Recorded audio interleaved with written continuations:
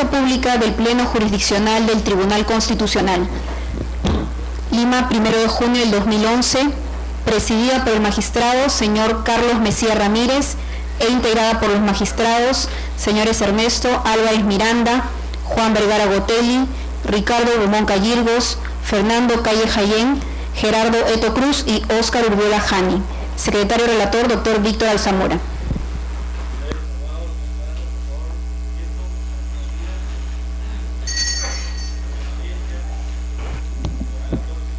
Cuente las causas. Señor presidente, señores magistrados, muy buenos días. En las audiencias programadas para la fecha se ha solicitado informar oralmente en las siguientes causas. En la causa número 2, expediente número 4235, año 2010, habeas corpus, interpuesta por César Nakazaki, Nakazaki Cerviñón a favor de Alberto Fujimori Fujimori, contra Jorge Alfredo Solís Espinosa y otros vocales supremos de la Sala Penal Permanente de la Corte Suprema, ha solicitado informar oralmente el doctor César Augusto Nakazaki Cerviñón. Asimismo, por la parte demandada, ha solicitado informar oralmente el doctor Segundo Jesús Viterio Rodríguez, Procurador Público del Poder Judicial. Doy cuenta a usted, señor presidente, señores magistrados, que el día de ayer ha ingresado en este expediente a las 3 de la tarde un escrito presentado por el doctor Segundo Jesús Viterio Rodríguez solicitando la reprogramación de la vista y la causa. Si no se da lectura del documento, por favor.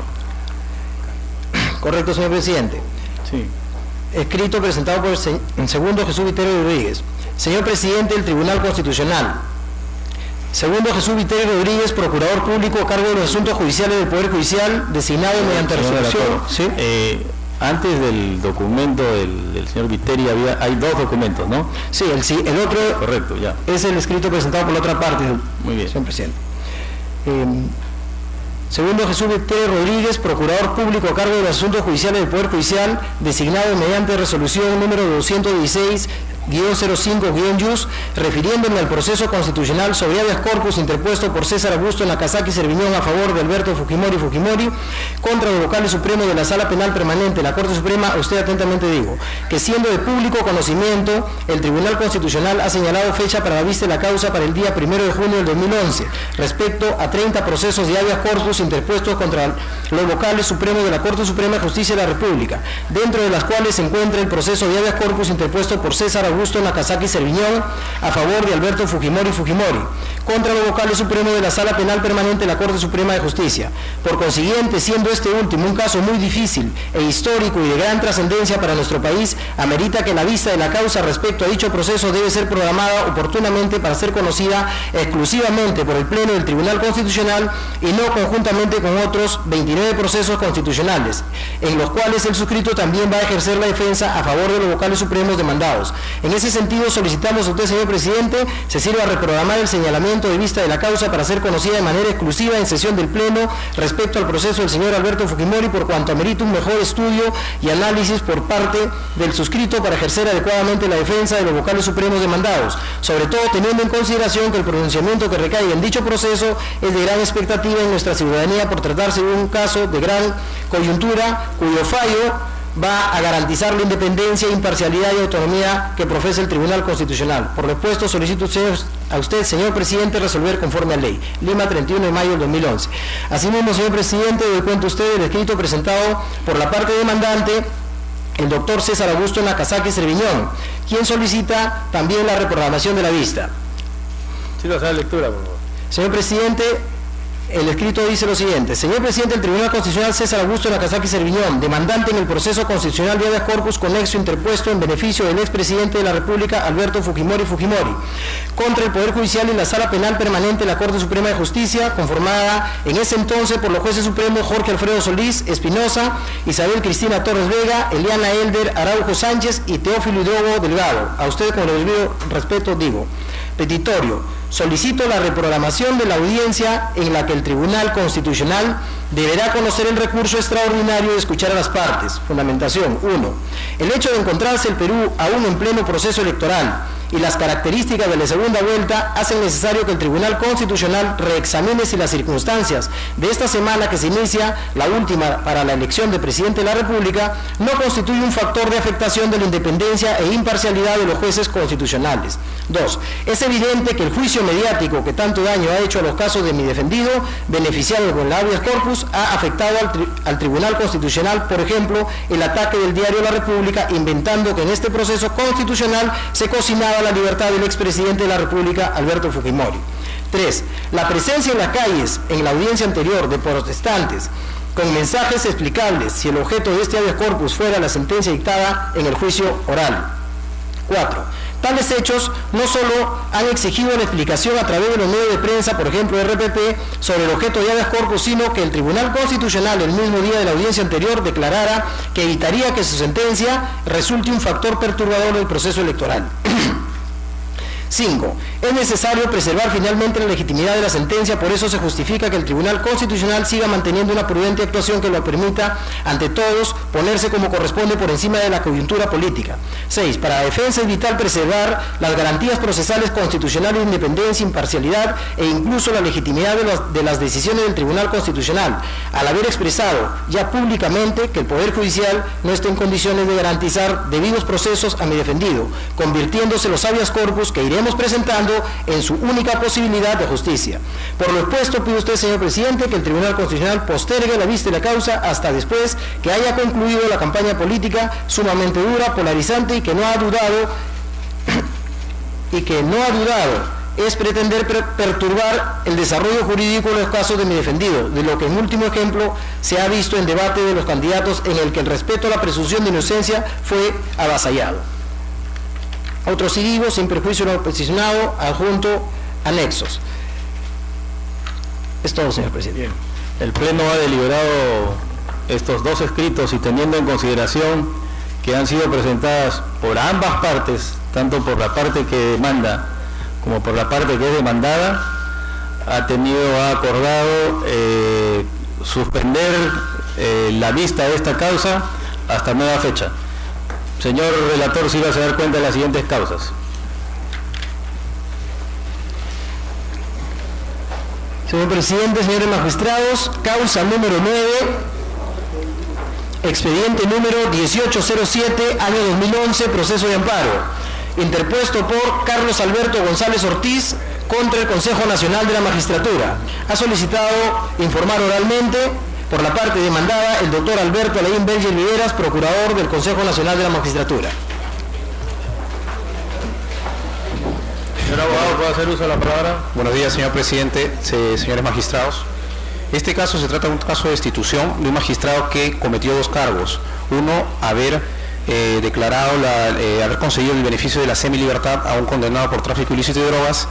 Y el segundo cargo es haber eh, declarado fundada una solicitud de refundición de penas, sin haberse eh, observado los requisitos que señala el artículo 51 del Código Penal. En este caso, conforme a la jurisprudencia del Tribunal Constitucional, de la cual estamos totalmente de acuerdo, eh, los dos parámetros constitucionales que le otorgan la legitimidad a la resolución del Consejo se han cumplido. Esto es este, la, la motivación de la resolución y eso se puede observar de una lectura de las resoluciones. Y en relación a la preaudiencia del interesado, el demandante no se presentó al Consejo porque dice que no fue notificado. Sin embargo, obran, eh, eh, en la resolución se, da una explicación de que se le notifica a los domicilios que había consignado la OGMA al domicilio de figura del DNI, no, no se presentó, inclusive se le publicaron los edictos en el diario oficial peruano y en un diario de mayor circulación. Pese a ello, él no se presentó en, la primera parte del proceso disciplinario y recién se presenta para presentar su recurso impugnatorio ante la primera resolución del Consejo. Por lo tanto, podemos decir que el derecho de defensa ha sido garantizado y no y si es que no se presentó fue por culpa del propio demandante. Por esas razones, señor magistrado, solicito pues que se rechace esta demanda, se declare infundada. Causa número 10, expediente número 1812, año 2011, proceso de amparo, interpuesto por César Augusto Castillo González y otros, contra la SUNAT y otros. Ha solicitado el uso de la palabra por la parte demandante el doctor Pierre Francois Navarro Ríos. Asimismo, el doctor Braulio Iván Rocío Larios. Por la parte demandada, el doctor Renzo Fabricio Tomás Díaz. Eh, buenos días, señor presidente de este ilustre tribunal, señores vocales todos.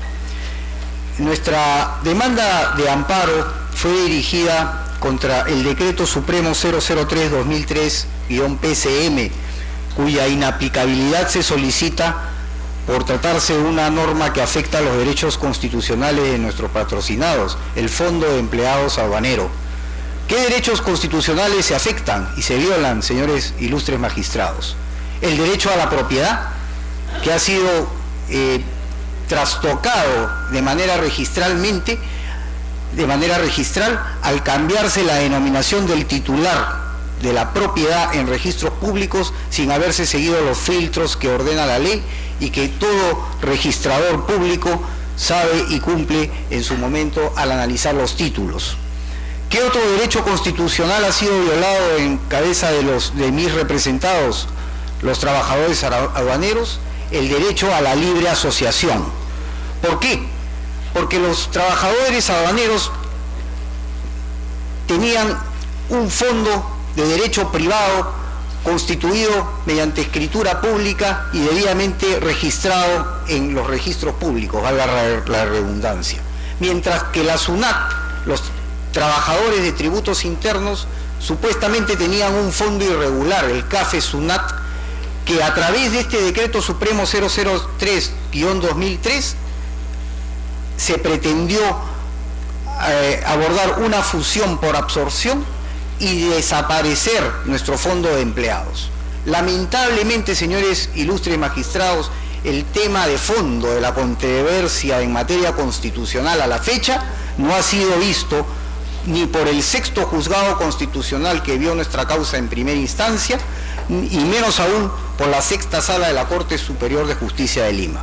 ¿Y por qué no se ha visto el tema de fondo y la controversia constitucional, sobre la cual no me debo explayar en este momento en demasía por no ser pertinente es que ha sido declarada fundada la excepción de prescripción extintiva aludida por la parte o formulada, perdón, por la parte demandada. El sexto juzgado constitucional que despacha el doctor Roy Saavedra Choque declaró fundada dicha excepción y, manifestó en su resolución número 23 que nuestro derecho a la acción constitucional había prescrito. Nosotros manifestamos, señores magistrados, que la prescripción no ha ocurrido, que la aplicación del artículo 44 debe seguirse de su inciso número 3, debe aplicarse en su conjunto, dado que los hechos de la fusión a la fecha siguen existiendo. Son hechos continuados en el tiempo que hasta la fecha siguen aconteciendo. Es decir, manifestamos expresamente que la fusión de ambos fondos ahora, hoy, no ha concluido. Hemos adjuntado sendos medios probatorios documentales que acreditan lo que estoy exponiendo. Obra en autos, por ejemplo, una resolución, una, una, unas resoluciones de la SUNAT que nos acotan y nos cobran impuestos al Fondo de Empleados de la administración aduanera que supuestamente ha extinguido por fusión, a la fecha la SUNAT nos sigue, nos sigue acotando, nos sigue multando, nosotros tenemos nuestro RUC. Aparte de eso, la Superintendencia de Bienes Nacionales nos inició una demanda en el 2005, mucho después de la dación de, de la resolución de Intendencia 106-2004, la misma que accesoriamente estamos pidiendo su inaplicabilidad una vez se declare la inaplicabilidad del decreto supremo que la genera. Esta resolución de Intendencia 106-2004 que declara expresamente que la fusión de fondos ha culminado, no se ejecuta en la realidad de los hechos.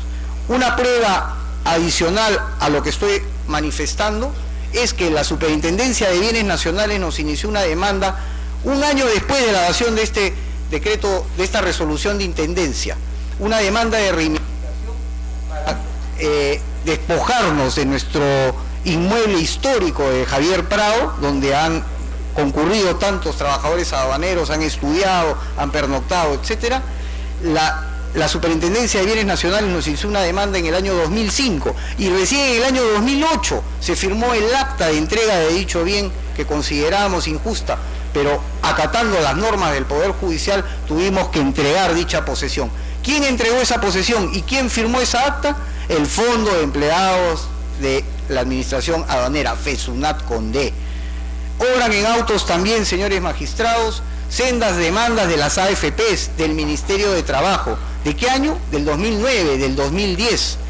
Señores magistrados, la fusión de fondos, un fondo irregular inexistente en su origen y en su creación, CAFE SUNAT, que no existía para la vía del derecho, porque era un ente irregular, carecía de una inscripción registral, a través de este decreto supremo se pretendió que dicho fondo absorba al Fondo de Empleados Aduaneros, FESUNAT D, que sí tenía su ficha registral, que sí había sido constituido bajo las normas del derecho privado a través de una escritura pública. Como reiteramos, ese tema controvertido constitucionalmente hablando, esa materia constitucional a la fecha no ha sido vista por ningún magistrado no ha sido vista por la Corte y tampoco por este tribunal.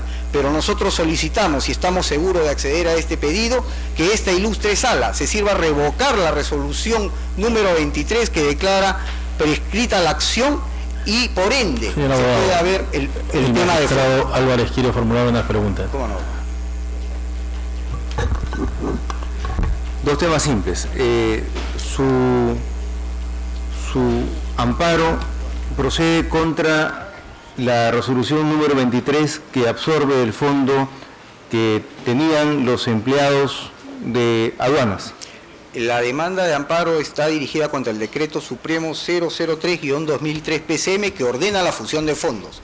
La resolución 23 aludida, disculpe, de repente me he expresado mal, es la resolución que declara fundada la excepción de prescripción y terminado el proceso pedida por el sexto juzgado constitucional. Hay un decreto supremo y hay una resolución eh, que justamente van convalidando ese proceso, ¿cierto? Una que ordena, el, decreto supremo ordena la absorción y normas subalternas que van complementando ese proceso en esa dirección. La 106-2004 que dice aquí acabó eh, la fusión, terminada la fusión. Entre ellas está, por ejemplo, la entrega del, inmueble que ustedes tenían en Jaime Prado.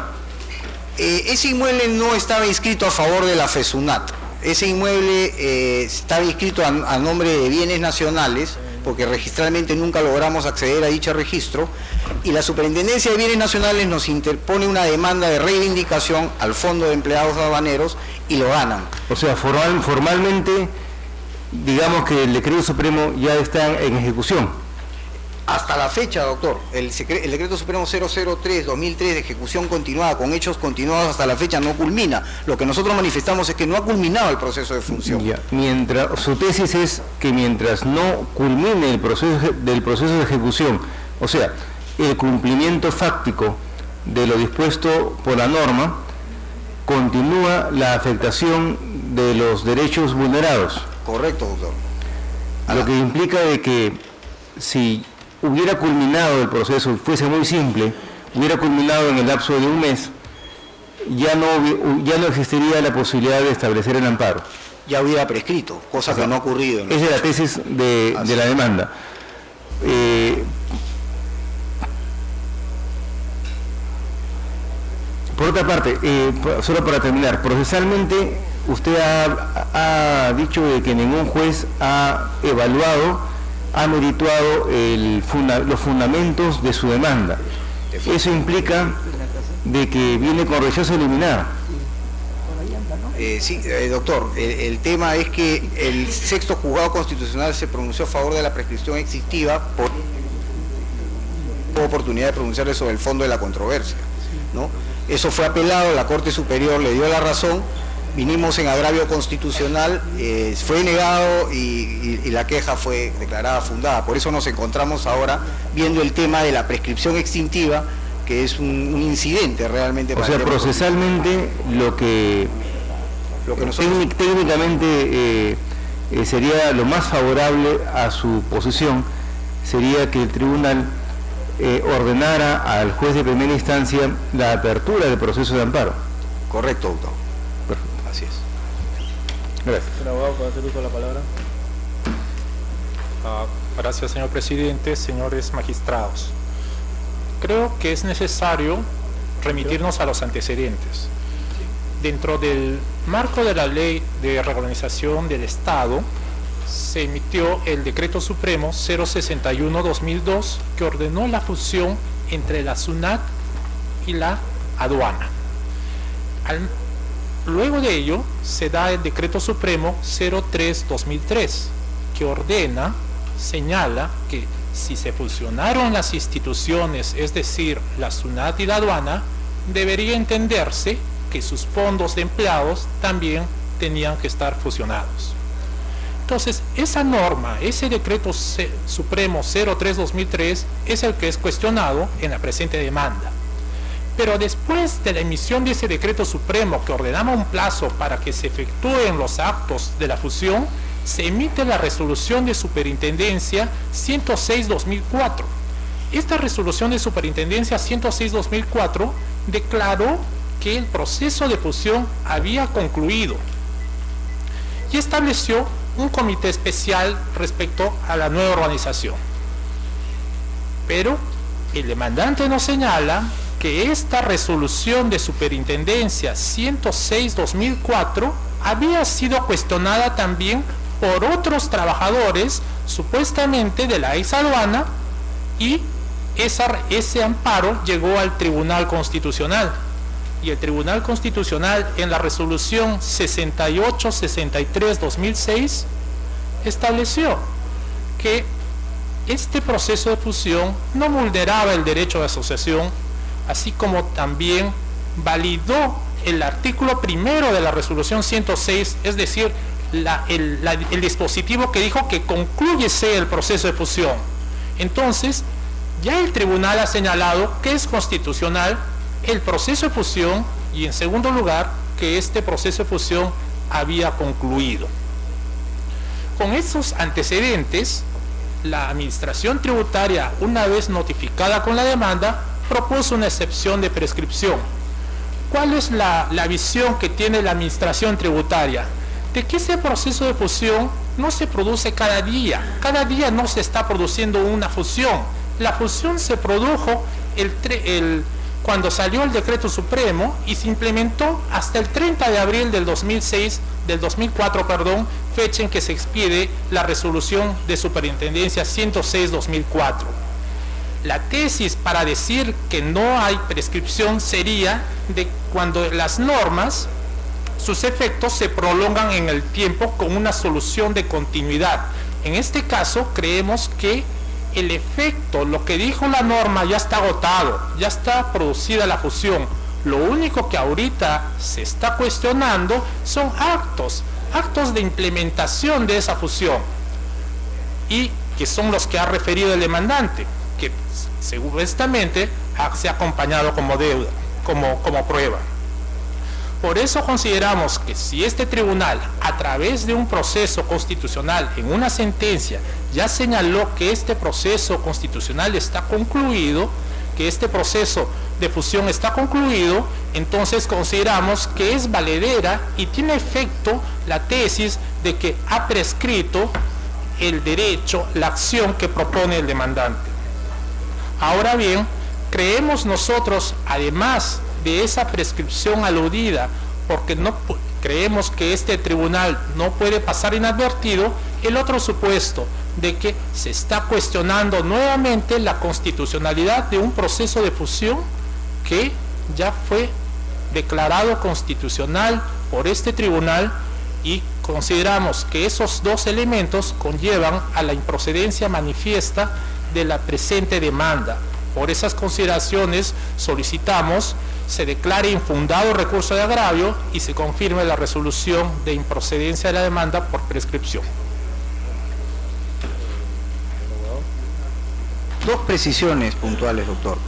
Eh, nosotros no estamos observando el tema de la fusión de entes, SUNAT con T, SUNAT con D. Por más que nos parezca inconducente y antitécnico y no manifestado por nosotros, sino por múltiples especialistas, el hecho de mantener la autonomía de fondos de empleados, asociaciones sin fines de lucro, con fines asistenciales, para cada uno, no implica que se tenga que llegar a la, disolución de esta fusión de entes. Eso en primer lugar. Es el caso de la Policía Nacional que cuando fue fusionada mantuvieron la- la- el, Policía de Investigaciones, la Guardia Civil, la, GR, mantuvieron sus clubes, mantuvieron sus, eh, sus asociaciones. Es el caso que nosotros no queremos que nos priven de nuestro querido club de Chosica, de Chacrasana, Club de Invierno.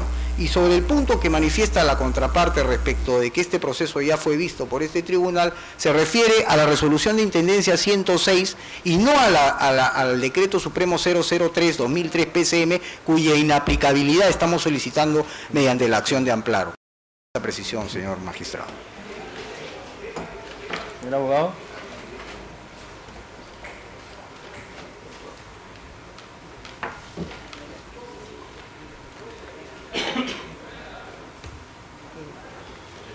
Señor presidente, la, el informe de mi colega me colega de los antecedentes, obviamente quiero precisar todas estas cosas. Primero es una representación del fondo de empleados de la Superintendencia Nacional de Ambientales, que es un acto.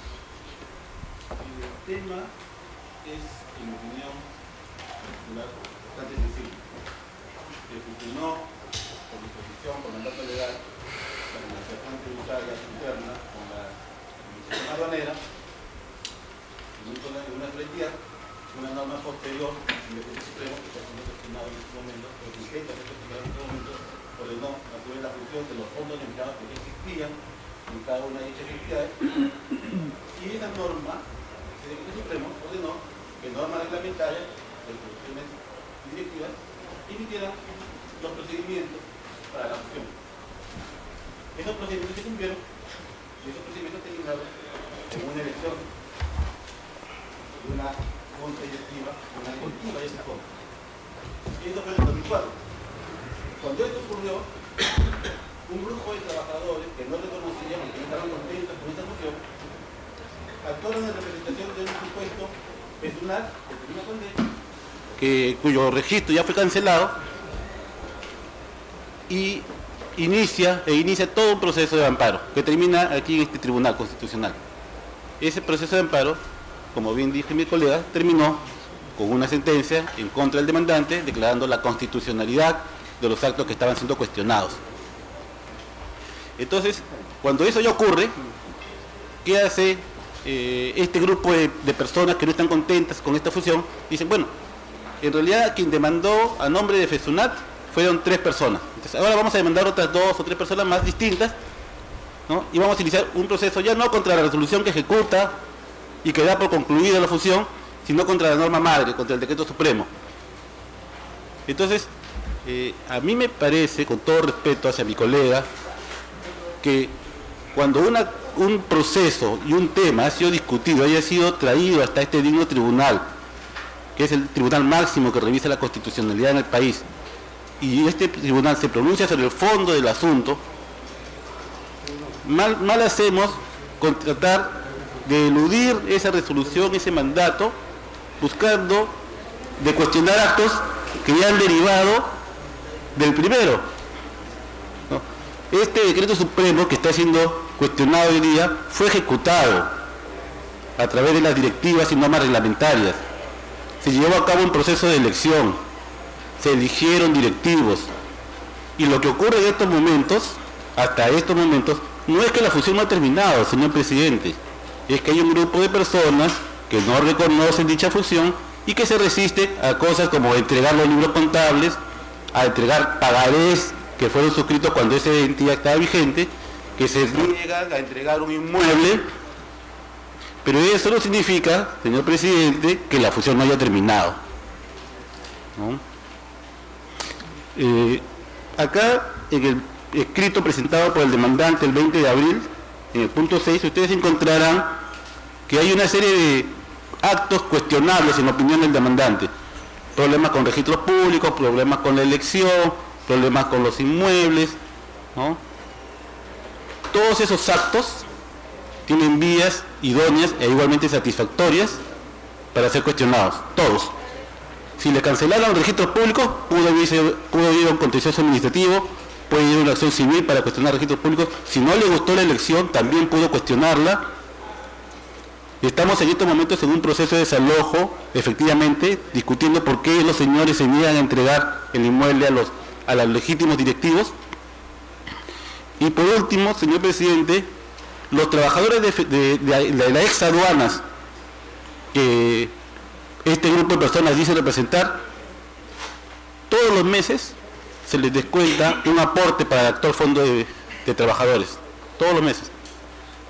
Todos los meses pueden acudir y hacer uso del servicio médico que FESUNAC financia con esos aportes. Aportes que son de los trabajadores y que son del Estado. Tanto, tan igual como era antes de la fusión. Entonces, ¿de qué estamos hablando, señor presidente? Si los propios trabajadores están fusionados ya, ya en no solamente jurídicamente, sino en los hechos. Es más, muchas de las deudas iniciadas antes de la vigencia del actual fondo, ya fusionado, han tenido que ser refinanciadas. Y los trabajadores de las aduanas están cumpliendo con sus pagos puntualmente. La rebeldía de alguna persona no puede llevar a negar los hechos, señor presidente. La fusión concluyó, concluyó en el 2004. Le guste o no le guste a todas las personas que están involucradas. Por esas razones eh, solicito que la resolución que está siendo cuestionada en este recurso sea confirmada. Muchas gracias.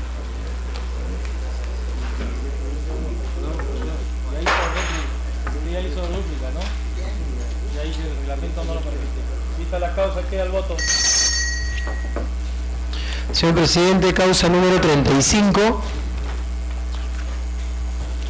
Expediente número 1996, año 2011, proceso de habeas corpus, interpuesto por Nelson Abelardo Noriega Delgado contra Roger Salas Gamboa y otros jueces supremos de la Sala Penal Permanente de la Corte Suprema de Justicia de la República y otros. Ha solicitado el uso de la palabra por la parte demandante el doctor Luigi Romeo Valentino Reyes Terán y por la parte demandada la abogada de la Procuraduría del Poder Judicial, doctora Yesenia Paola Fuentes Andrade. Doctor, usted, perdón, el doctor Jesús Viteri Rodríguez en lugar de la doctora Yesenia Paola Fuentes Andrade.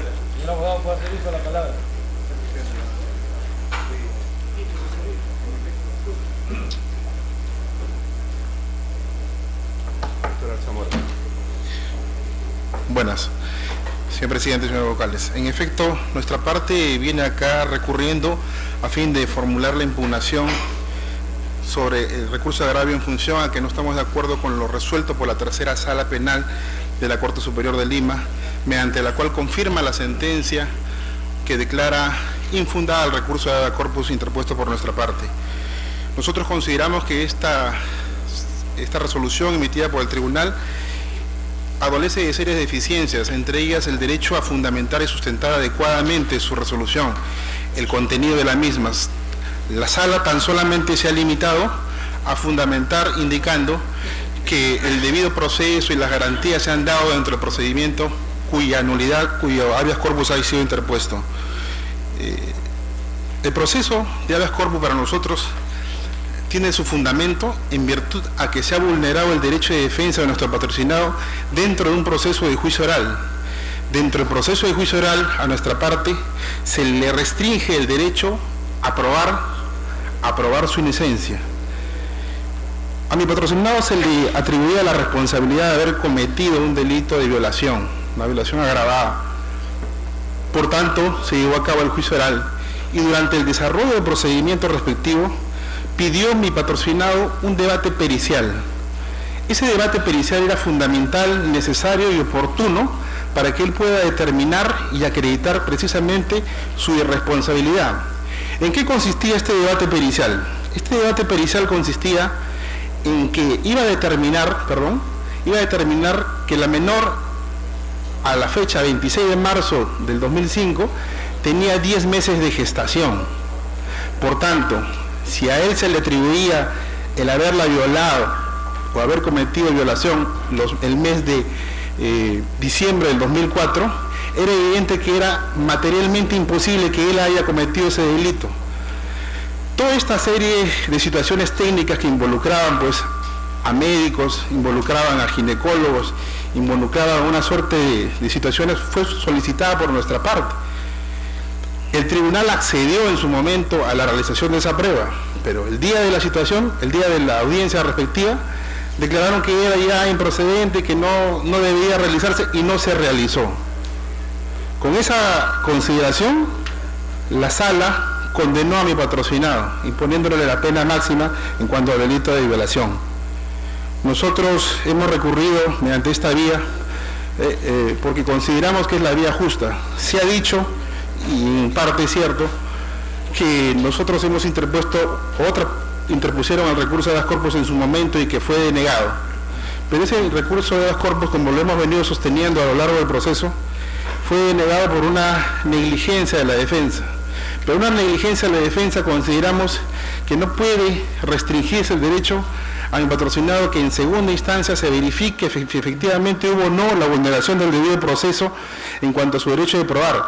No solamente hablamos de esa prueba, sino que existieron otros peritajes que también fueron solicitados en su momento y que asimismo la Fiscalía Suprema, lo penal, en su momento opinó que era necesario que se den esos peritajes para que pueda determinarse si efectivamente a él le asiste o no la responsabilidad penal de un delito tan grave por el cual hasta la fecha viene cumpliendo la pena efectiva eh, de privacidad de libertad. Consideramos, señor presidente, que existen suficientes argumentos para que nuestro recurso eh, y pedido sean parados en todos sus extremos. Gracias. Señor presidente, señores jueces constitucionales, bueno, hemos escuchado la parte contraria, eh, la desidia y la falta de defensa no se le puede cargar al Poder Judicial, porque en caso si un abogado no asume la defensa de acuerdo al código de ética de nuestro colegio de abogados, las salas tienen la obligación de poder sustituirle por un defensor de oficio que se encuentra preparado para asumir una defensa. Acá hemos escuchado el fondo del asunto es una alegación de medios probatorios.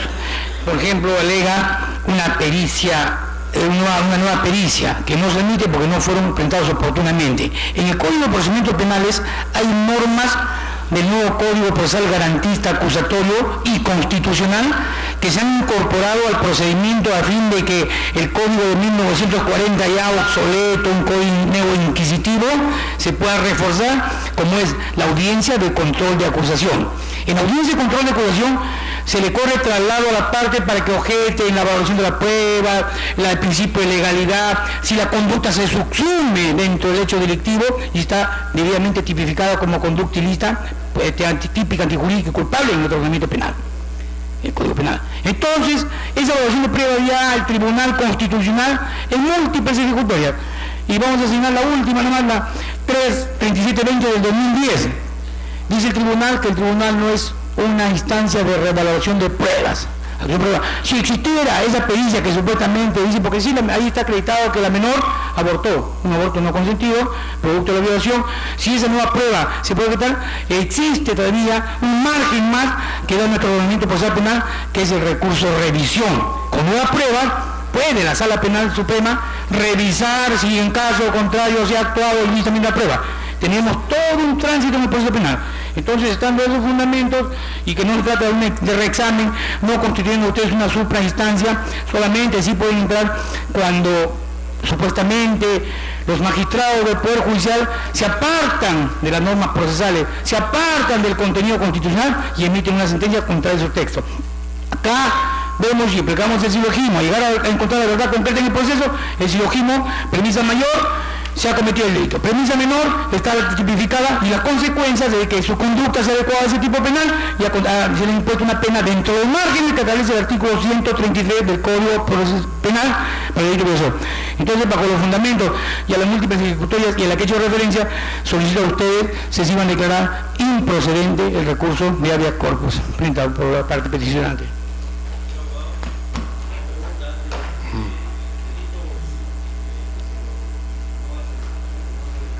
Delito de violación de menor. Eh, bueno, tenía menos de 14 años en ese momento. Eh, señor presidente, eh, brevemente para hacer una precisión en función a lo que acaba de señalar la otra parte,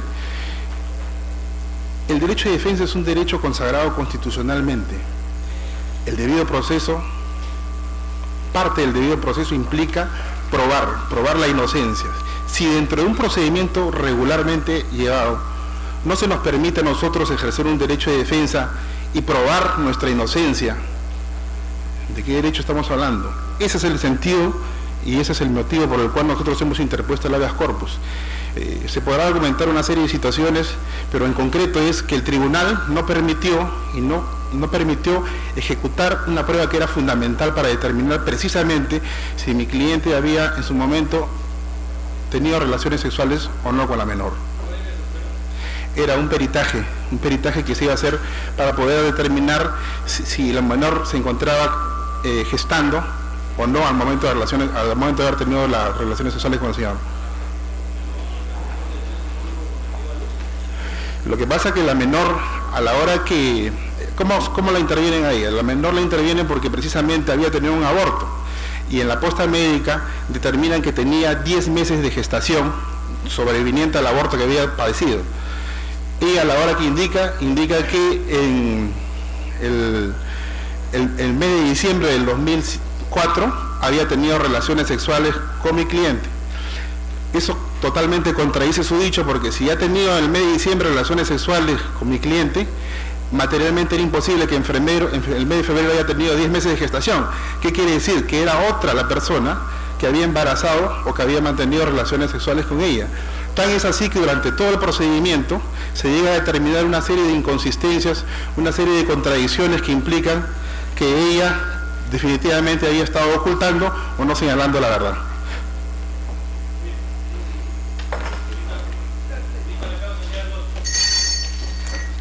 Causa número 27, expediente número 1924 año 2011, proceso de habeas corpus, interpuesto por Álvaro Javier Peso Paredes en favor de César Manrique Victorio Olivares, contra Duberlía Polinario Rodríguez Tineo y otros jueces supremos de la primera sala penal transitoria de la Corte Suprema y otro. Ha solicitado el uso de la palabra por la parte demandante el doctor Álvaro Javier Peso Paredes y por la parte demandada el doctor Jorge Omar Vivas Oliva.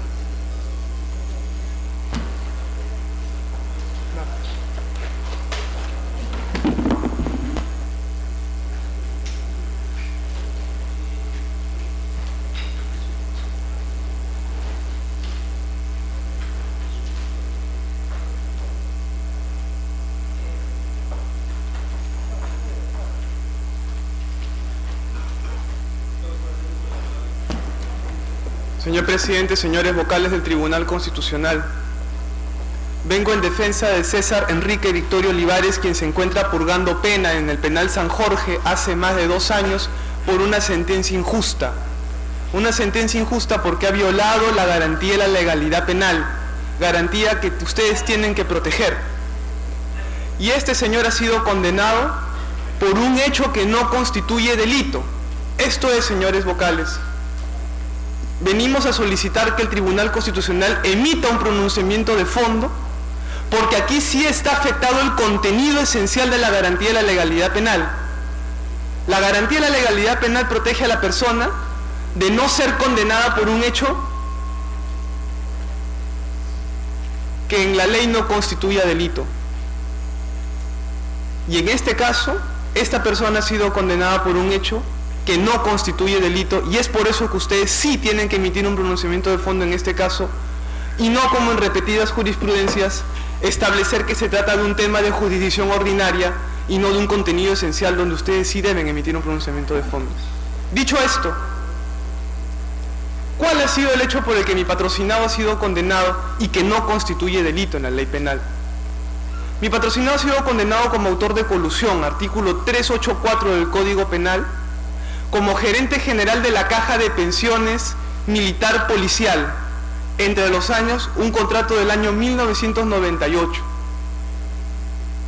El tema es, señores vocales, que el artículo 384 dice lo siguiente, es bien clarito, el funcionario servidor público que se concerta o que se concierta o se pone de acuerdo con los particulares interesados en un contrato, operación semejante, concurso de precios, subastas, donde intervenga en razón de su cargo o comisión especial y donde se defraude al Estado o una entidad del Estado.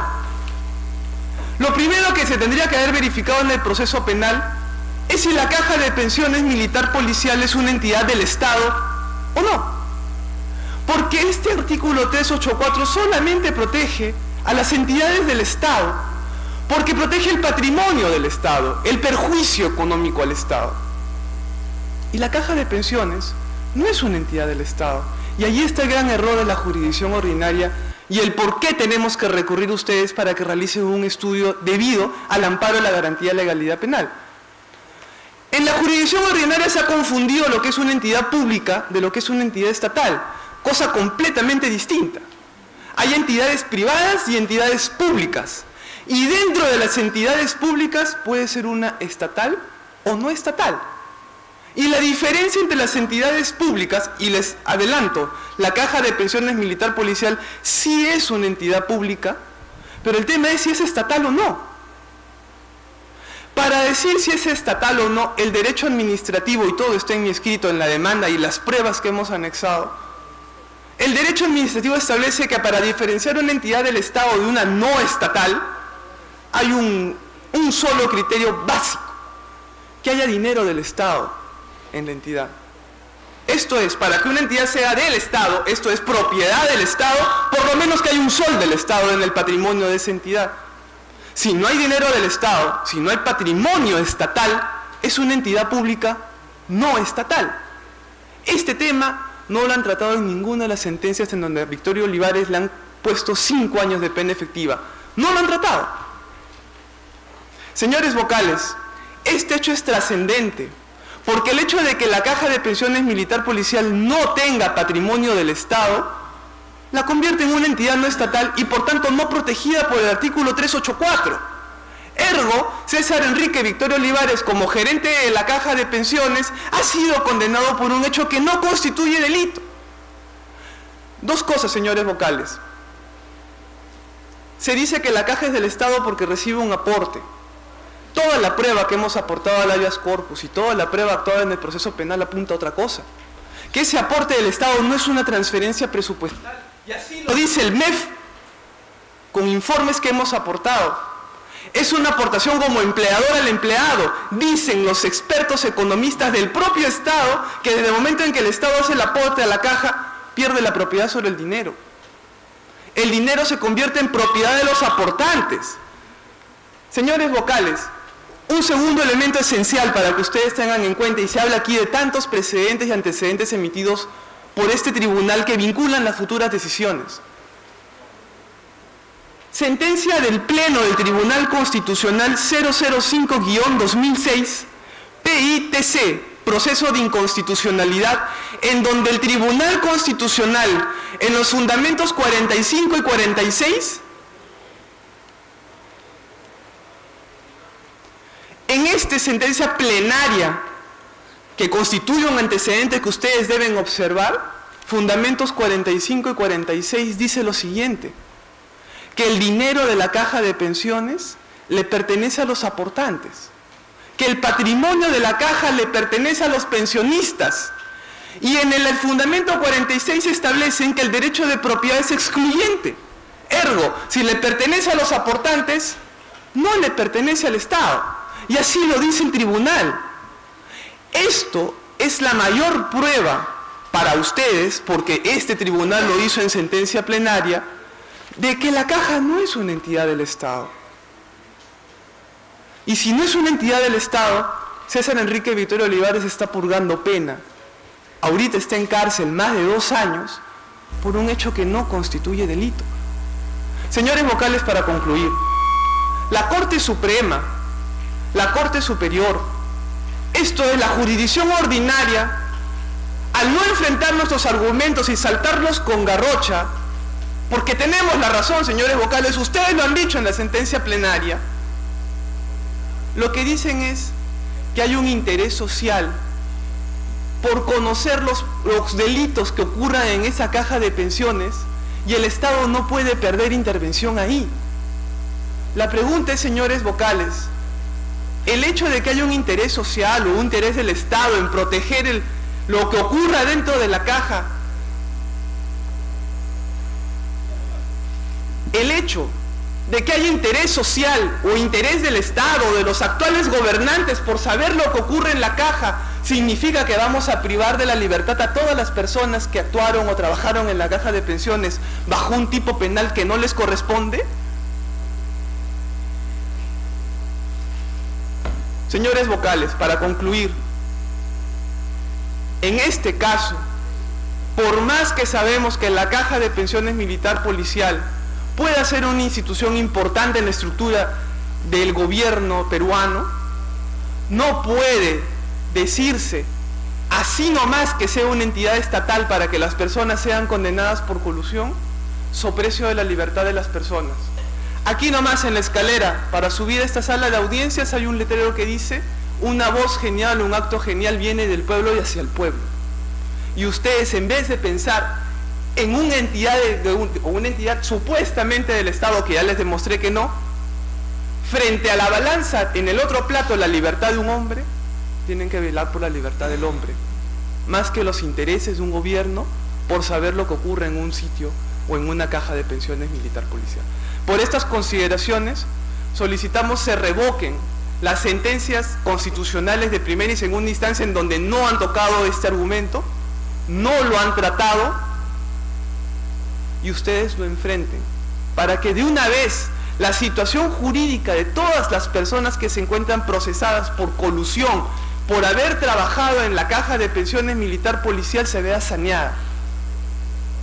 Porque esa no es una entidad del Estado. Muchas gracias, señores vocales.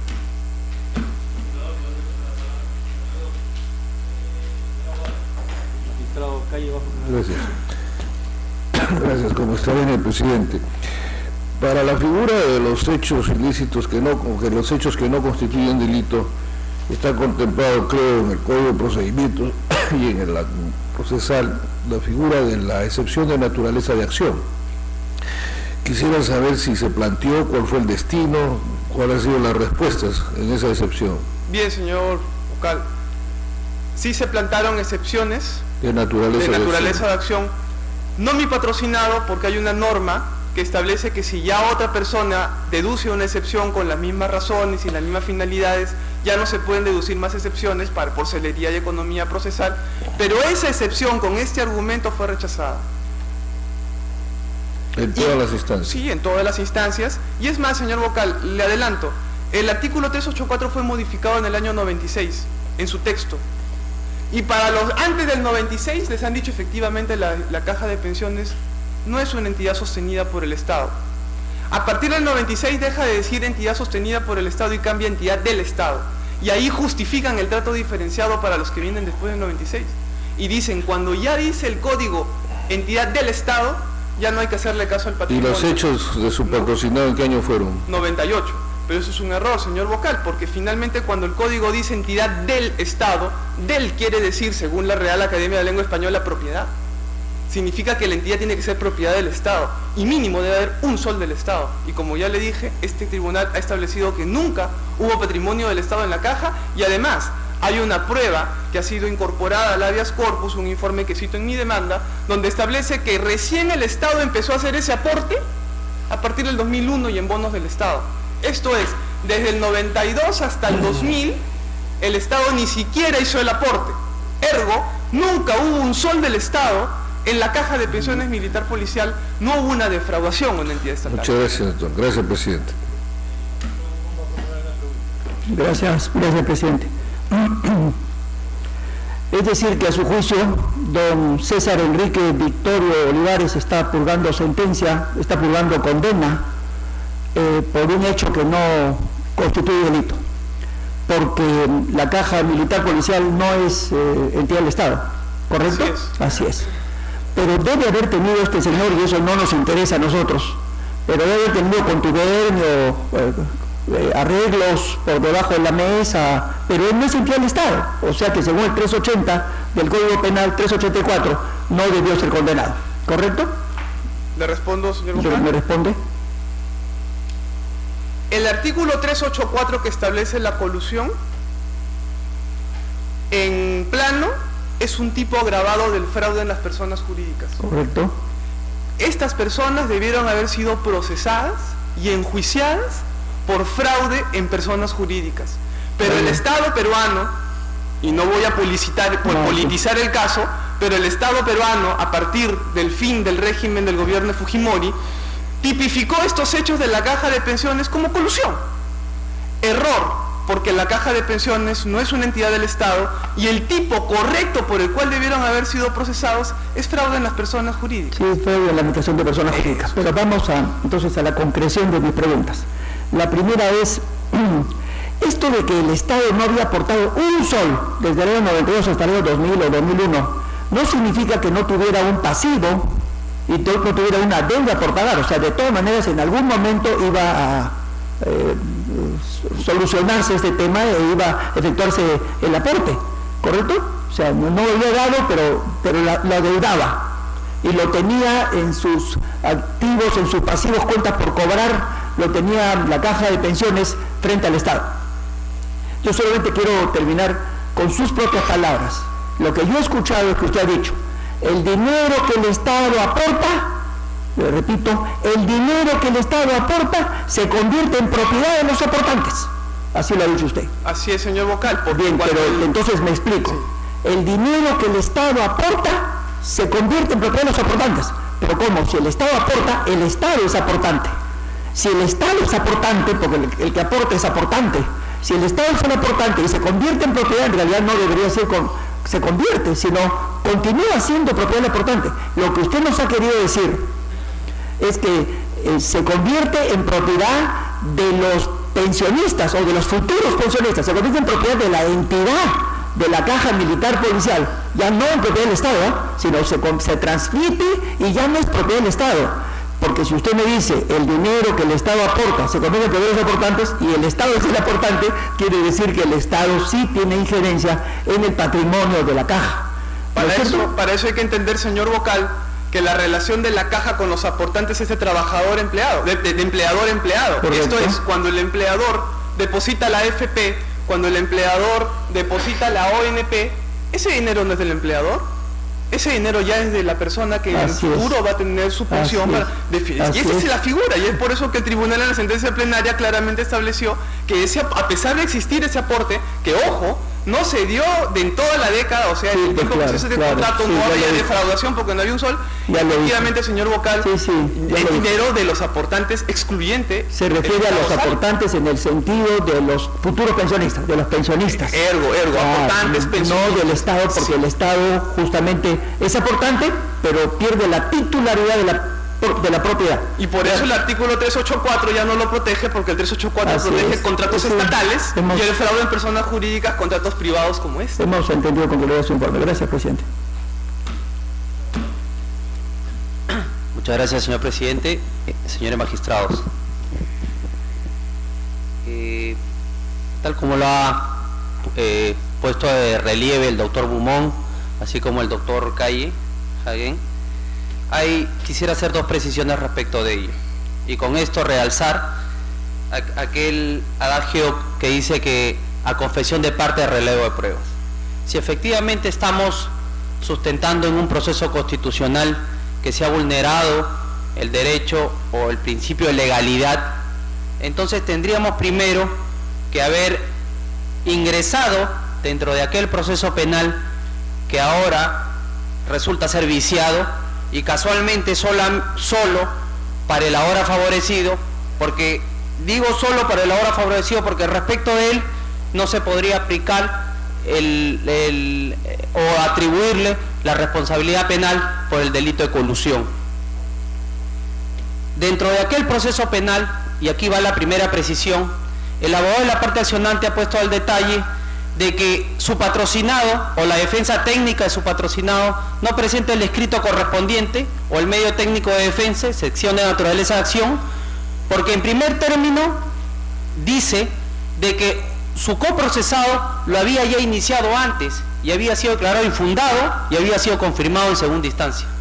Todos sabemos, señores magistrados, por nuestros estudios básicos de derecho penal, la parte general, cada quien responde por el hecho que se le imputa. Y en virtud de ello, no puede atribuirse de que si respecto de A se le imputa, se le imputa el hecho B, al imputado C también le va a ser aplicable o le puede ser aplicable el mismo hecho B, porque podemos determinar del contexto delictivo que C pudo haber contribuido con su conducta a otro tipo de delito, o un delito adicional. Y aquí vendríamos a tallar el tema del concurso y otros tantos fundamentos legales. Lo que se le imputa o lo que se le imputó a la hora favorecido fue haber defraudado al Estado en su calidad de gerente de la Caja de Pensiones Militar Policial.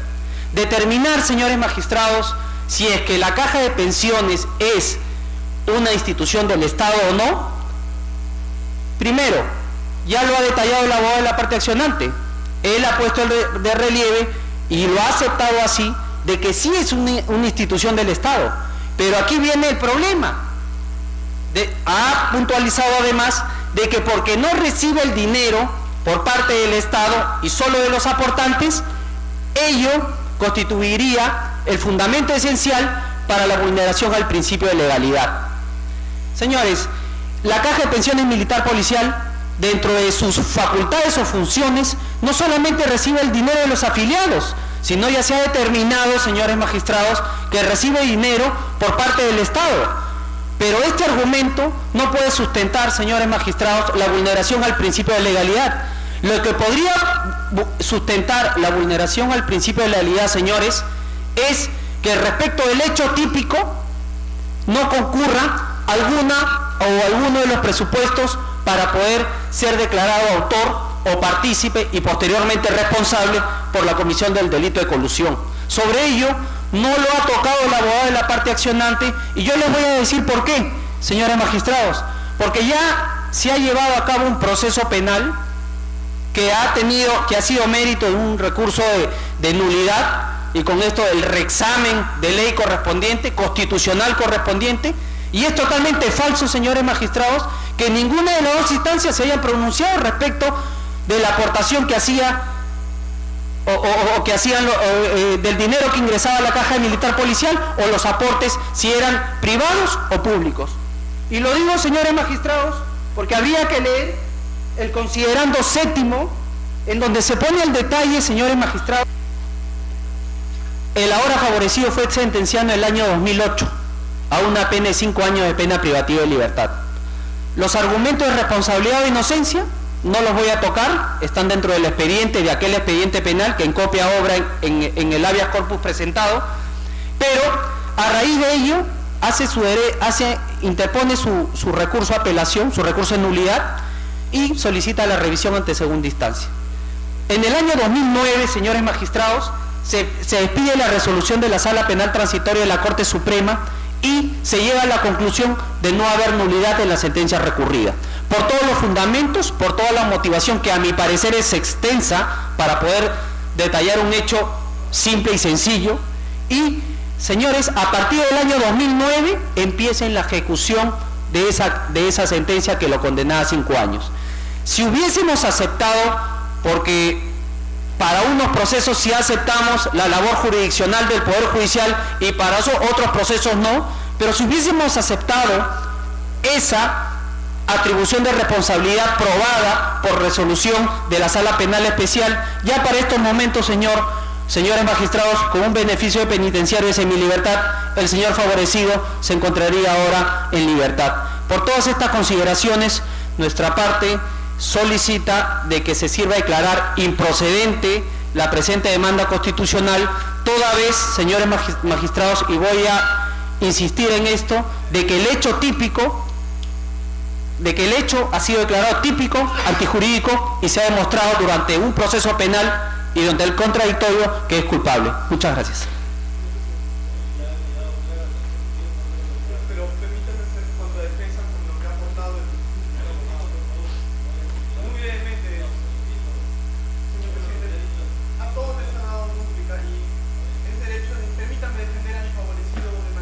Señor presidente.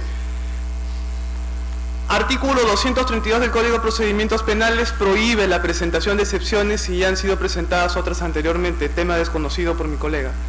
Segundo, mi colega confunde a este tribunal sobre el aporte del Estado. Yo no digo que la caja sea o no del Estado por los aportes de los propios aportantes o pensionistas, sino por el aporte del Estado. Y este ya la prueba dice que no es una transferencia presupuestal, sino un aporte de empleador que ya no es propiedad del Estado. No confundamos. Es más, la Superintendencia de Bienes Nacionales a pedido de la Caja de Pensiones desafectó todos los bienes de la Caja, porque dijo que la Caja no es del Estado, la Superintendencia de Bienes Nacionales. Y no he dicho el elemento típico porque tácitamente está establecido, señores vocales. Si no es una entidad del Estado la caja de pensiones, y yo alego que eso es lo que falta, esto es el elemento típico ausente, es sujeto pasivo. Ya lo dije. Y sobre que en la Corte Suprema se haya hecho una argumentación extensa, no significa de que esta sea correcta. Por eso es que pedimos la revisión. Y finalmente, señores vocales, semilibertad imposible, porque existe la ley 27770 que establece que para obtener beneficios penitenciarios por delitos de corrupción de funcionarios tiene que pagarse toda la reparación civil y mi patrocinado no ha podido pagar una reparación civil de millones de soles. Es por eso que nuestro habeas corpus no está impidiendo que salga en semilibertad, tema que nuevamente busca confundir al tribunal. Yo les pido, señores vocales, que se guíen de los argumentos de mi demanda, donde están claramente establecidos todas las causas que he expresado el día de hoy. Muchas gracias. Causa número 30, expediente número 1949, año 2011, proceso de amparo, interpuesto por Solio Ramírez Garay contra el Consejo Nacional de la Magistratura. Ha solicitado el uso de la palabra por la parte demandada el Procurador Público del Consejo Nacional de la Magistratura, el doctor Alberto Alain Berger Vigueras. Eh, señores magistrados, este se trata de un proceso de ratificación y sobre ello eh, voy a señalar lo que siempre señalo en mi defensa, que es que el parámetro establecido por ese tribunal y del cual yo estoy de acuerdo es que se cumplan los dos presupuestos. Y reitero esto, y permítame rápidamente de por qué digo esto, porque en una sentencia que han publicado el día de ayer, caso Ibáñez Carranza, han, han puesto un capítulo sobre mis alegaciones que llevo en este tribunal, diciendo que yo insisto en la tesis que las decisiones del Consejo son inimpugnables. Yo nunca digo eso en este tribunal, jamás. Yo al contrario he saludado la jurisprudencia de este tribunal en el sentido de que no hay, no hay ningún órgano que puede ser una isla que esté exenta al control, ¿no? Entonces ahí hay una precisión y por eso que resalto el tema de que el tribunal hace bien en establecer los parámetros para legitimar una resolución. En este caso de autos se cumplen esos dos presupuestos, que es la previa audiencia del interesado y eso se desprende de la propia resolución en su considerando tercero, ahí señala que la audiencia fue el 28 de septiembre. Y en cuanto a la motivación, de los considerandos octavo al décimo cuarto se encuentran las razones por las cuales se toma la decisión de no ratificar al demandante. Por esas consideraciones, señores magistrados, solicito pues que se declare improcedente en aplicación del artículo 5, numeral 7 del Código Procesal Constitucional. Señor presidente, doy cuenta a usted que en las demás causas programadas a la fecha no se han solicitado el informe oral conforme al reglamento ni se han hecho presente en la audiencia para solicitar informar oralmente. Lo he pedido hasta por escrito, señor, el informe oral. Pero no se ha registrado. Yo he llegado nueve y un minuto. ¿Cómo pueden decir que no, ya no me puedo registrar? Se violaría un derecho constitucional no registrarse porque llega un, nueve y un minuto. Sí, después. 1908.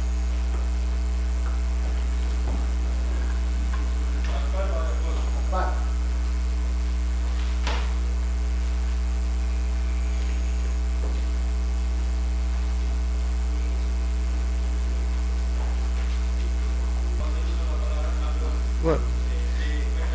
Correcto. Señor presidente, la causa es la número 24, el expediente número 1908 año 2011, proceso de amparo, interpuesto por Fernando Gustavo Heinz Rudolf Gert Vela contra el tercer juzgado especializado en lo civil de la Corte Superior de Justicia de Arequipa y otros. Ha solicitado en la audiencia presente el abogado por la parte demandante informar oralmente Guillermo Olivero Ríos.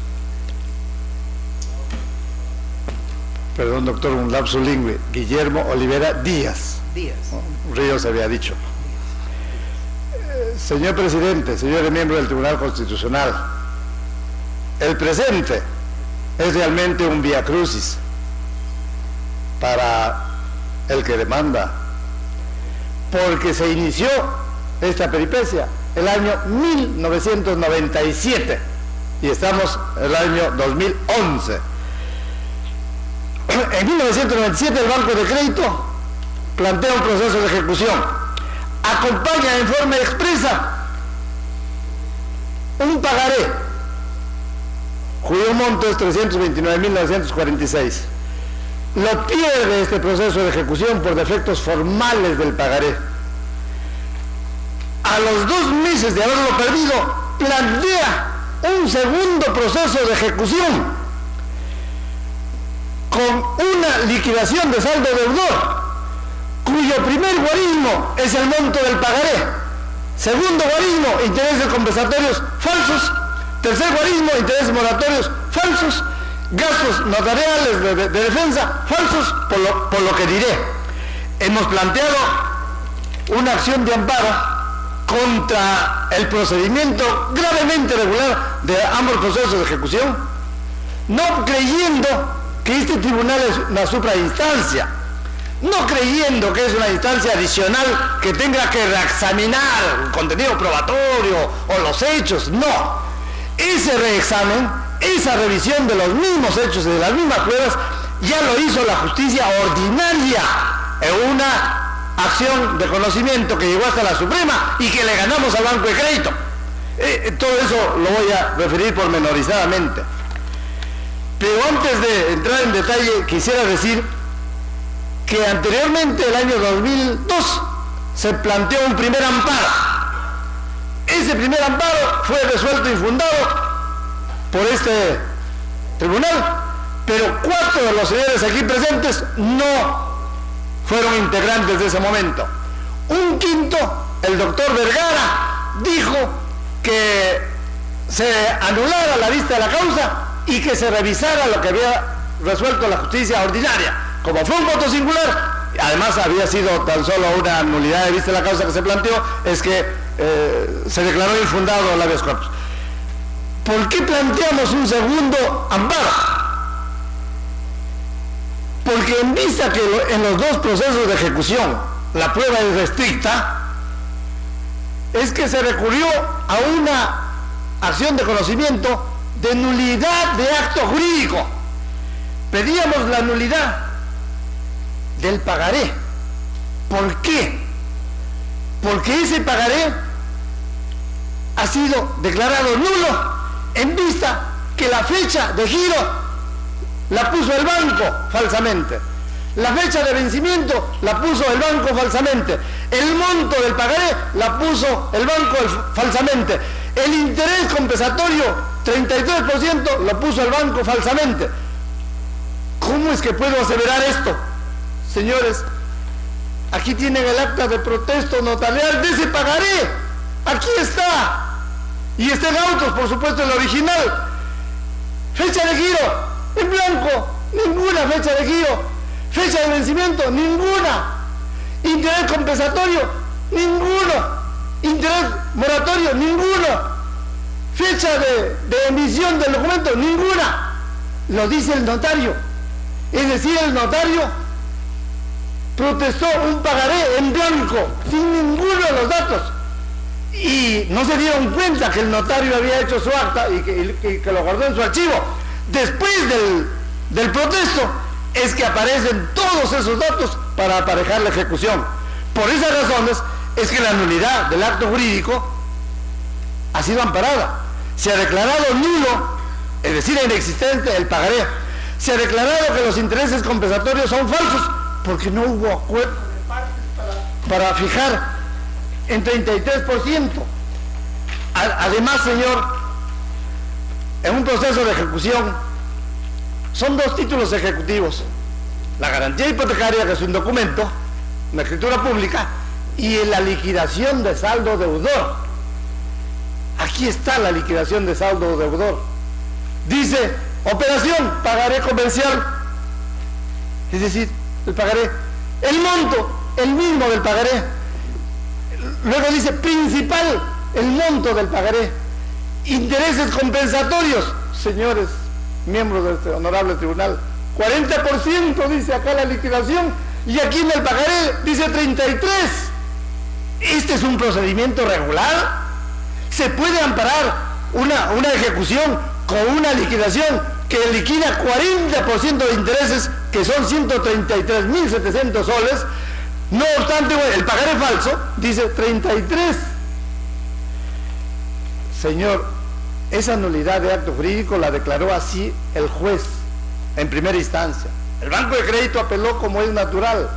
La Corte superior o sala correspondiente, por unanimidad, confirmó la nulidad del, acto jurídico porque su objeto es ilícito. Por supuesto que es ilícito porque se le está llenando todos los datos, se le está llenando unilateralmente, no ha habido pacto o acuerdo entre las partes. Entonces es un objeto ilícito, además se está poniendo un interés antojadizo. Pudo ser 33, pudo ser 40, 50, pudo ser 100%, porque eso lo decidía el banco, ¿no? Y eso nunca fue acuerdo de las partes. Como quiera que ya perdió en segunda instancia esta nulidad del pagaré, interpuso recurso de casación, subió la Suprema y por unanimidad, cinco vocales supremos han declarado improcedente la casación, con lo que se convierte en ejecutoria o cosa juzgada las dos resoluciones anteriores. Por lo tanto, yo no quiero que el Tribunal Constitucional revise este problema del pagaré y lo que acabo de decir, porque ya la propia justicia ordinaria, en tres instancias, nueve magistrados han declarado que eso es nulo. ¿Y nulo desde cuándo? Desde 1995. Sin embargo, este proceso de ejecución, el segundo, sigue en camino. Por eso hemos demandado como amparo la violación de, lo que se ha dado y la amenaza de violación, porque estando el proceso de ejecución abierto en, en- estado de ejecución, se sigue solicitando nuevos inmuebles para que cubran el monto. Pero ¿qué monto? Aquí ya no hay ninguna deuda si es que hay un pagaré nulo. No hay ninguna deuda si los intereses compensatorios son falsos. No hay ninguna deuda si los intereses moratorios son falsos. No hay ninguna deuda si los gastos notariales se calculan de acuerdo al monto del pagaré cuyo título valor ha sido declarado nulo por la justicia ordinaria. Además, señor, eh, el- este segundo proceso de ejecución no fue aparejado con el pagaré. Señor abogado, el magistrado Viola quiere hacer unas preguntas. Ha encantado.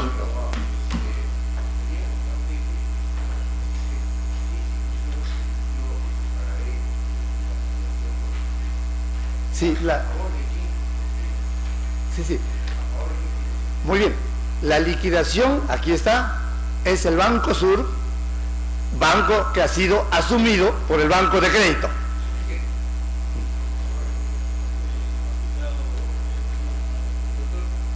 Guillermo Olivera, tenemos prácticamente dos procesos.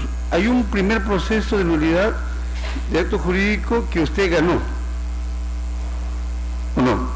Y hay un, se- un segundo que está en giro. No, no, no. Nulidad de acto jurídico, uno solo. Uno solo. Tres instancias y que ganamos. Ya, gana- ganó. Así es.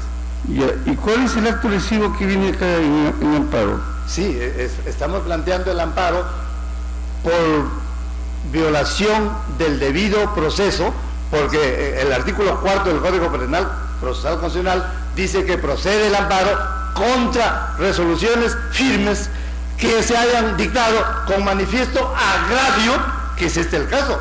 ¿Cómo no va a ser agravio que se esté haciendo pagar judicialmente una deuda que ha sido declarada su nulidad? ¿Cómo no va a ser un manifiesto agravio que la justicia ordinaria haya dicho que todo eso es nulo, pagaré interés y demás, y sin embargo los procesos de ejecución siguen abiertos y, y- en proceso de- de nuevos embargos? Ese es un manifiesto agravio, me parece. Es que la, pregunta creo va en este sentido.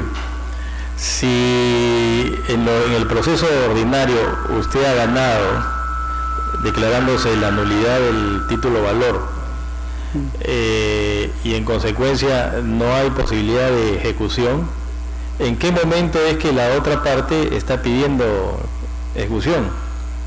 No, el, proceso de ejecución comenzó y en este momento se está pidiendo un embargo de un nuevo inmueble, por lo tanto está abierto.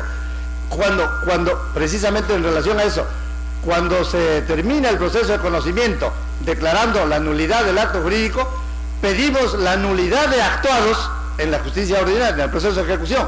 Por supuesto no fue amparada esa nulidad de actuados, por eso al no haberse amparado la nulidad de actuados es que se está pidiendo el embargo de un segundo inmueble para cubrir el monto de deuda y contra eso es que estamos eh, planteando el amparo como amenaza de violación. Dos procesos de ejecución. El primero lo perdió el banco, el segundo, eh, llamémoslo, lo ganó. Contra esos dos es que se plantea la nulidad del acto jurídico que comprende a todos los elementos que recaudan los dos procesos de ejecución y se gana eso. Por lo tanto, ya no hay ningún título, valor ni interés compensatorios que tengan que ser cobrados en juicio. Claro, el amparo está diciendo que el- este tribunal tiene competencia para ampararlo contra resoluciones firmes dictadas con manifiesto agravio, como es este- el caso.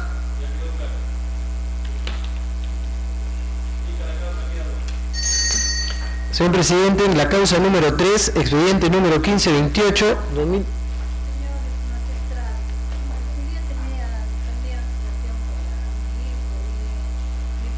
abogado ha salido, de ahí eh, ha presentado por mesa, ha presentado.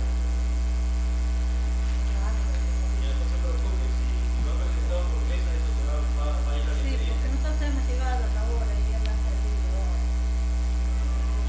Toma en cuenta, ¿Qué causa es? Permítame.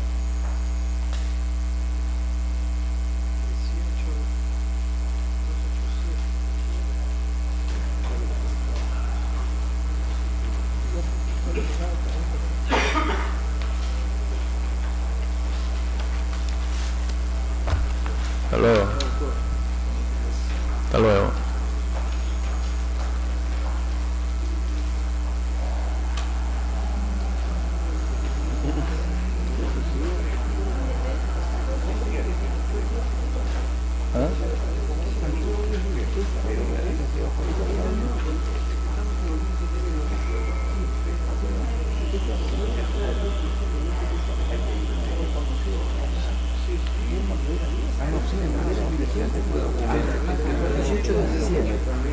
¿Qué número es? 18 es.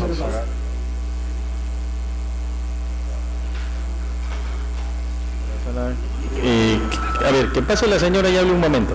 Señora, eh, eh, solo eh, no se acostumbra, pero en la medida en que su abogado no está, de carácter excepcional, el tribunal entiende que su declaración va a ser sobre hechos.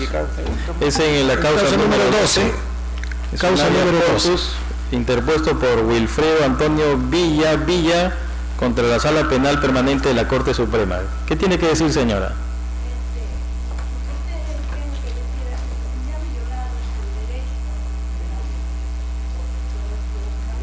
que han actuado no han este, revisado, no han tomado en cuenta lo que nosotros hemos puesto o lo que mi hijo ha dicho. A todo, solamente un dicho de la niña, nada más lo han tomado en cuenta. No han este, tomado en cuenta el certificado mm, médico, no lo han tomado en cuenta. Nada, nada, no lo han tomado ¿Es en un cuenta. caso de violación? Sí, es un caso de violación. ¿Cuántos años tiene su hijo? Mi hijo ahora- ahora tiene 22 años, ¿Y la menor? tiene 15, 16 años. Mm, Ya. Yo Eh, quiero que lo tome en cuenta, señor magistrado, que lo revise bien, porque en el certificado médico no hay nada. Eh, no- ¿Y, en, qué, en qué se han basado los jueces para condenarlo a su hijo? en que mi hijo en el primer momento declara diciendo que sí, porque ha sido presionado por los policías y le amenazaron diciendo que lo vamos a detener a tu papá, a tu mamá, le vamos a detener, si usted no dice que sí, por cuanto el policía eh, era conocido con la hermana de, la, eh, de la mamá de la chica, era conocido, la señora entraba, salía al policía, así que lo han hecho lo que ellos han querido. Le han detenido a mi hijo, no me han pasado la voz. Eh, Le detienen a las 8 de la mañana cuando mi hijo salía al trabajo. Y yo a las 12 de la noche recién me avisa. Me dice, señora, su hijo está detenido. Yo voy al, al distrito de Jicamarca donde me dicen que está detenido. Me dicen, no, ya lo han pasado a Santanita. Voy a Santanita ya en la noche, ya eran las 2 de la mañana. Me dicen, no, a las 6 de la tarde ya lo han pasado a Bancaya, al Poder Judicial. Cuando yo llego a las 4 de la mañana, ya lo habían hecho vuelta con otro este, abogado de oficio, le habían hecho dar su declaración, el cual mi hijo no, no tenía defensa de nada. Han hecho ellos lo que mejor le han parecido, señores. Yo quiero que lo tomen en cuenta. Yo soy una madre sola y yo con ayuda de mi hijo vivo. Ahora no tengo a nadie, señores. Yo quiero que lo revisen bien ese documento. Claro, quizás tenga falta mi hijo, pero no es para que lo condenen de esa manera. Sin tomarle en cuenta de nada de lo que, del certificado médico más que todo, señor. Y el certificado ¿El médico certificado médico qué decía? ¿Usted se acuerda? Sí, el certificado médico dice que tiene IME incomplaciente. IME incomplaciente. Sí, pero sin embargo la niña dice, este, la chica dice que ha sangrado. Yo no sé cómo en un IME incomplaciente puede haber sangrado, señores magistrados. Por eso que... ¿Esa es la única prueba? La única prueba, señor. No tiene otra prueba, solamente la dicho del, el dicho de la niña, nada más. ¿A cuántos años ha sido condenado? A 30 años, señor. No 30 es años. justo, sí, señor. Ya, Quiero muy que bien. lo tomen en cuenta, por favor, señores. Le pido de todo corazón. Ok. Gracias. Ya. 30 años.